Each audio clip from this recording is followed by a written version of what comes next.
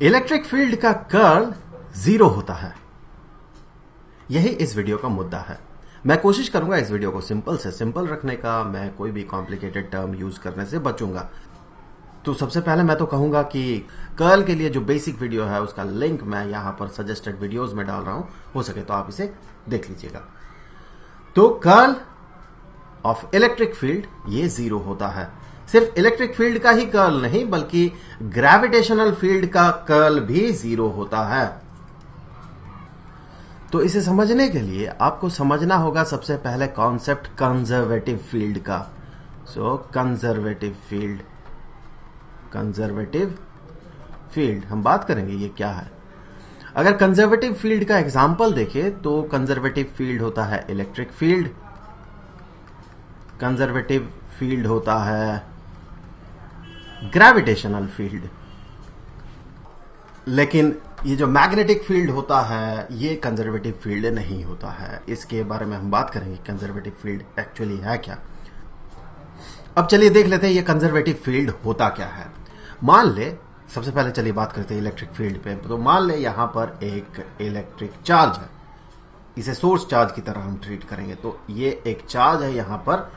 तो ये अपने आसपास के रीजन में जो इलेक्ट्रिक फ़ील्ड होता है, उसमें मॉडिफाई करता है। जो स्पेस होता है, उसे मॉडिफाई करता है। और अलग अलग जगह पे अलग अलग पोटेंशियल क्रिएट करता है। इलेक्ट्रिक पोटेंशियल अलग अलग पॉइंट में अलग अलग इलेक्ट्रिक पोटेंशियल होता है। जैसे यहाँ एक पोटेंशियल होगा इसका, यहाँ एक पोटेंशियल होगा। ये इलेक्ट्रिक फ़ील्ड का जो मैग्नीट्यूड होगा, वो भी अलग अलग होगा अलग अलग पॉइंट में। तो यहाँ मुद्दा है, ये स्पेस को जो मॉडिफाई करता है तो एक सर्टेन पॉइंट अगर मैं चूज़ करूँ, यहाँ पर ये एक सर्टेन पॉइंट है। तो अगर इस चार्ज को सोर्स चार्ज को हम इधर उधर ना हिलाए, यहीं पर इसे फिक्स्ड रखें तो इस पॉइंट में जो बिहेवियर है इसका, इस फ़ील्ड का, इस स्पेस का जो बिहेवियर है, क्या ये चेंज करेगा? नहीं करेगा, वो तो कांस्टेंट होगा, क्योंकि ये जो सोर्स है वो तो फिक्स्ड है। तो यहाँ पर जो पोटेंशियल बनेगा ये पोटेंशियल सेम होगा, ये समय के साथ चेंज नहीं करेगा। सो पोटेंशियल वी कांस्टेंट अब, अगर मान ले यहाँ पर मैं एक और चार्ज इंट्रोड्यूस करता हूँ, एक छोटा सा चार्ज सो चलिए यहाँ पर क्यू डैश्ड चार्ज मैंने इंट्रोड्यूस किया। तो इस क्यू डैश्ड चार्ज को एक एनर्जी मिलेगा। तो वो होगा उसका potential energy electric potential energy जो कि बराबर होगा वी उस पॉइंट का पोटेंशियल जो कि फिक्स्ड होगा। वी इन टू यहाँ जिस चार्ज को हमने इंट्रोड्यूस किया तो ये हो गया इसका potential energy so potential energy इस चार्ज का क्यू डैश चार्ज का, ये वाला जो चार्ज है, इस पॉइंट में जिसका कि पोटेंशियल v है, जो कि कांस्टेंट है due to this static source charge तो ये होगा एक कांस्टेंट टर्म इतना. इसका मतलब अभी अगर मैं इसे यहाँ पर रखता हूँ। तो इसमें जितना पोटेंशियल एनर्जी होगा। अगर मैं इसे कुछ देर बाद रखता हूँ तो इतना ही पोटेंशियल होगा। बशर्ते ये जो सिस्टम है, ये चेंज ना कर जाए।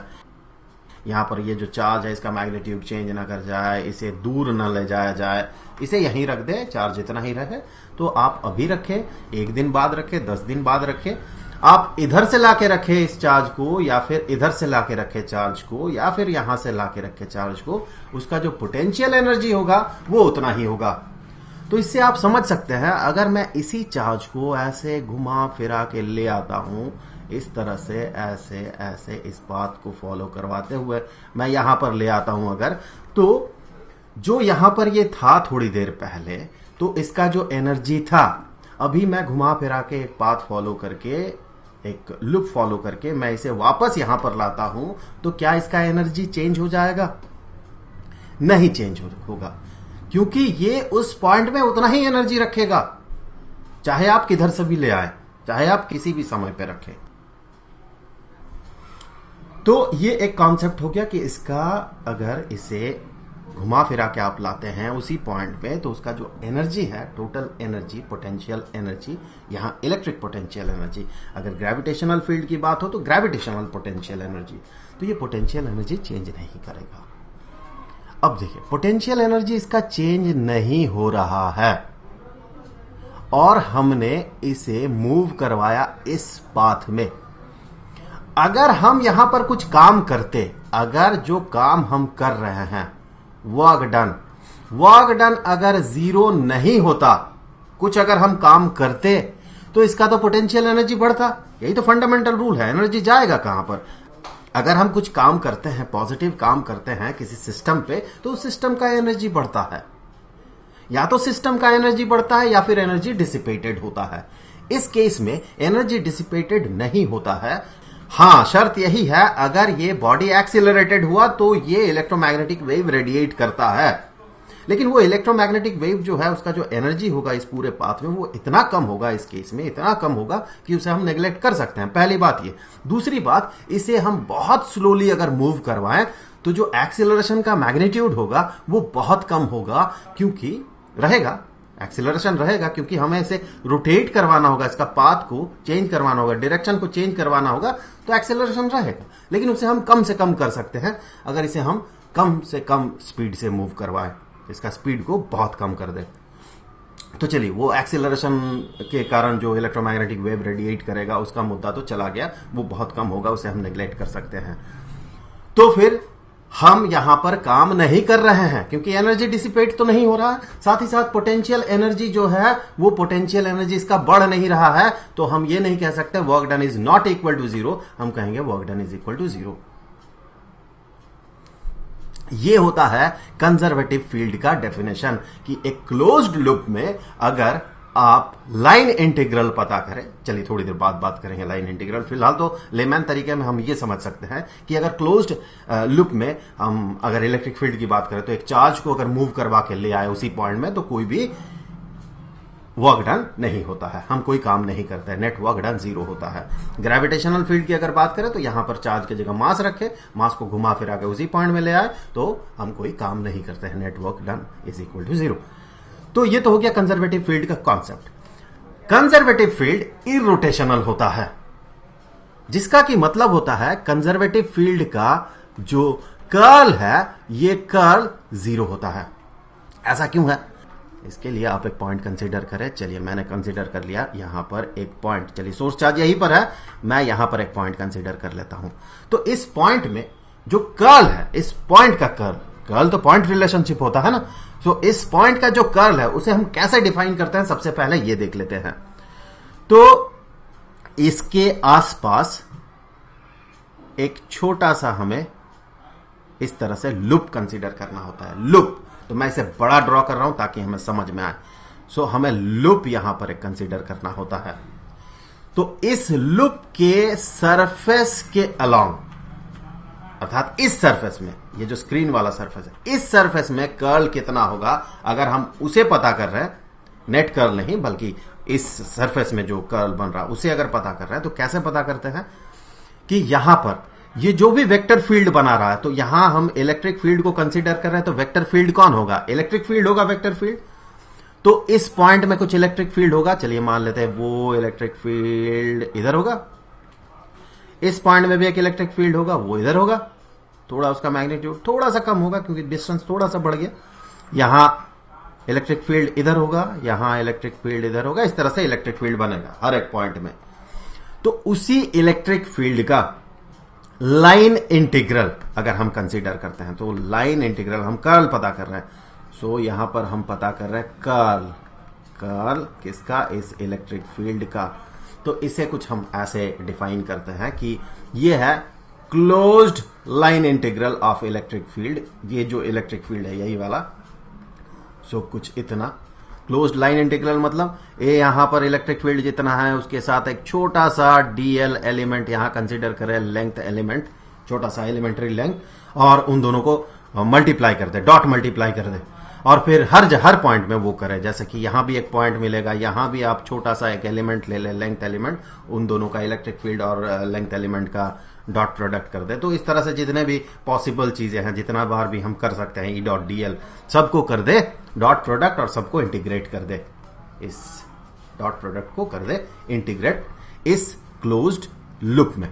तो आपको मिल जाएगा एक टर्म इसे अब डिवाइड करे। यहाँ जो भी इसका सरफेस एरिया होगा, चलिए इसका सरफेस एरिया हो रहा है क्योंकि बहुत छोटा सा ये सरफेस है तो इसका surface area DS so divided by D S ये देगा कर्ल का मैग्नीट्यूड सिर्फ़ डायरेक्शन नहीं। और इसका जो डायरेक्शन होगा, ये नॉर्मली आउटवर्ड्स होगा। इस सरफेस का जो डायरेक्शन होगा, ये वाला डायरेक्शन तो ये जो डायरेक्शन है, इसे हमने नाम दे दिया एन कैप अभी ये डायरेक्शन मायने नहीं रखता है सो मैं यहाँ से डायरेक्शन हटा दूँगा अभी। सो चलिए डायरेक्शन मैं हटा देता हूँ। सो हमने जो यहाँ पर पता लगाया, ये कर्ल का सिर्फ़ मैग्नीट्यूड है। मैं यहाँ लिख दूँ, ये मैग्नीट्यूड है। सिर्फ़ तो अगर कर्ल एग्जिस्ट करता यहाँ पर, ये कर्ल अगर यहाँ पर इस लुप में एग्जिस्ट करता, अर्थात इलेक्ट्रिक फ़ील्ड का कर्ल अगर रहता नॉन ज़ीरो होता ज़ीरो अगर नहीं होता तो फिर ये वाला टर्म ये तो नॉन ज़ीरो टर्म है तो ये भी तो नॉन ज़ीरो हो जाता। ये ज़ीरो नहीं होता, ये नॉन ज़ीरो होता। इसका नॉन ज़ीरो होने का मतलब क्या है कि इलेक्ट्रिक फ़ील्ड और डीएल इसका डॉट प्रोडक्ट अब इलेक्ट्रिक फ़ील्ड के साथ यहाँ पर चार्ज रख दे रहा हूँ मैं, यहाँ पर एक छोटा सा चार्ज रख दे रहा हूँ। Q dashed double dashed Q double dashed एक चार्ज मैंने रख दिया। तो ई डॉट डीएल का इंटीग्रेशन नॉन ज़ीरो है। अगर ऐसा होता, मैं यहाँ लिख दे रहा हूँ इफ़ अगर ऐसा होता कि इलेक्ट्रिक फ़ील्ड का डॉट प्रोडक्ट डीएल के साथ क्लोज्ड लूप में ये अगर नॉन ज़ीरो होता तो इसका मतलब ये होता कि मान ले कि आप यहाँ पर चार्ज रख रहे हैं क्यू डबल डैश्ड तो यहाँ से डीएल तक, एक छोटा सा मैंने डिस्टेंस कंसीडर कर लिया लेंथ कंसीडर कर लिया एलिमेंट्री लेंथ डीएल सो यहाँ से ये छोटा सा लेंथ ट्रेवल करने के लिए इस सिस्टम को जो काम करना पड़ता, ये वर्क डन बराबर होता, जो फोर्स यहाँ पर एक्ट होता, इस पॉइंट में इस चार्ज पे फोर्स कितना होता charge into electric field so ये फोर्स लगता और फोर्स के साथ हम डॉट प्रोडक्ट अगर लेते हैं डीएल का तो हमें मिलता है वर्क डन सो ये छोटा सा जो वर्क डन होता, यहाँ से लेके इस पॉइंट से लेके इस पॉइंट तक चलिए। ये पॉइंट ए ए से लेके पॉइंट बी तक आने में तो हमें इतना काम करना पड़ता। उसी तरह से इस पूरे लुप में इस चार्ज को घुमा के उसी पॉइंट में लाने के लिए आपको कितना काम करना पड़ता तो हमें इंटीग्रेट करना होता। सो टोटल वर्क डन की अगर बात हो so total work done W is equal to integration close loop integration या close line integration of D W तो यहाँ भी क्लोज लाइन इंटीग्रल तो यहाँ क्यू डबल डैश तो एक कांस्टेंट टर्म है इसे बाहर ले आए। सो so, इसे अगर बाहर ले आते हैं यहीं से आगे W is equal to Q double dash बाहर ले जाए और close line integral of E electric field dot DL तो अगर ये नॉन ज़ीरो होता तो यहाँ पर ये भी एक नॉन ज़ीरो टर्म था। उस नॉन ज़ीरो टर्म के साथ आप क्यू डैश डबल डैश को अगर मल्टीप्लाई करते तो ये एक नॉन ज़ीरो टर्म होता। अगर ये सही होता तो तो ये भी नॉन ज़ीरो होता। तो नॉन ज़ीरो होता तो work done is non zero जो कि नहीं हो सकता, है ना? हमने थोड़ी देर पहले बात किया है, एक अगर सर्कुलर पाथ में या फिर एक लुप में हम इसे ट्रैवल करवा के उसी इनिशियल पॉइंट में ले आए तो वर्क डन उस पूरा प्रोसेस में ज़ीरो होगा, क्योंकि उसका पोटेंशियल एनर्जी में कोई चेंज नहीं होगा, और काइनेटिक एनर्जी में भी नहीं होगा, क्योंकि हम उसे बहुत बहुत स्लोली मूव करवा रहे हैं। तो वर्क डन ज़ीरो तो इसे ज़ीरो होना है। तो इसे जब ज़ीरो होना है, इस वर्क डन को तो कौन ज़ीरो होगा? ज़ीरो होगा ये ये। और ये जैसे ही ज़ीरो हो गया तो यहाँ से देखिए ये जो टर्म है, ये ज़ीरो अगर हो गया तो कर्ल ऑफ़ इलेक्ट्रिक फ़ील्ड जो कि कंजर्वेटिव फ़ील्ड है। ये कंजर्वेटिव है, इसीलिए ऐसा हो रहा है, ये जो टर्म है, ये ज़ीरो बन रहा है। ये ई डॉट डीएल का क्लोज लाइन इंटीग्रल तो ये ज़ीरो बन रहा तो कर्ल भी ज़ीरो बन रहा। तो यही रीजन है कि हर तरह का जो कंजर्वेटिव फ़ील्ड है, उसका कर्ल ज़ीरो होता है। तो ऐसे ही आप सभी सवाल पूछते रहें, क्योंकि जब वीडियो बनता है तो सारे टॉपिक्स जो है वो क्लियर नहीं हो पाता है कुछ कुछ टॉपिक्स छूट जाते हैं। आप ऐसे सवाल पूछते हैं, उसका जवाब बनता है तो वो सारे जो खाली जगह है, वो भरते जाता है। हाँ आप सभी अच्छे सवाल भी पूछते हैं, मैं उन्हें पढ़ता भी हूँ, लेकिन हर एक को जवाब दे पाना मेरे लिए पॉसिबल नहीं हो पाता है। इसीलिए मैं कुछ सवालों का जवाब कमेंट सेक्शन में दे देता हूँ, और कुछ सवालों का जवाब मैं कोशिश करता हूँ वीडियो बनाने का। जो मुझे लगता है बहुत ज़्यादा इंपॉर्टेंट है या फिर कंफ्यूजिंग टॉपिक है, उन्हीं को मैं चूज़ करता हूँ। ये मेरा पर्सनल चॉइस है, इसका मतलब ये नहीं कि मैं जिसे चूज़ कर रहा हूँ वही एक बेहतरीन टॉपिक है या सवाल है और जिसे मैंने चूज़ नहीं किया, वो बकवास है, ऐसी बात नहीं है। ऐसे भी कुछ कुछ टॉपिक्स है, हो सकता है बहुत बढ़िया सवाल था, लेकिन वो छूट गया होगा। तो आप सवाल पूछते रहें। तो चलिए इस वीडियो में इतना ही। मिलेंगे आपसे अगले वीडियो में कुछ नए टॉपिक के साथ। तो तब तक के लिए गुड बाय